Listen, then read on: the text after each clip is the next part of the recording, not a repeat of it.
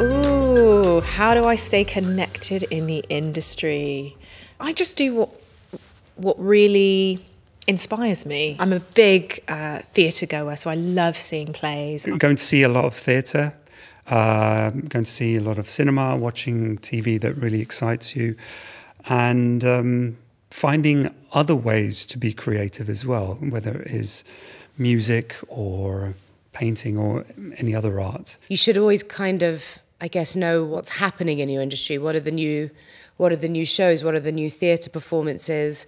Um, the new directors, the new casting directors, and sort of, you know, maintain an, a knowledge and understanding of what's going on in your in your chosen profession basically i love following different directors following different casting directors even because they tend to cast similar kind of things whether it's i don't know um, you know Mike Cotton, the musical director, all his shows seem to be about the underdog and the unlikely hero. They all have themes. So that's how I stay connected and inspired in the industry by just seeing work that I really, um, the work of people I really admire.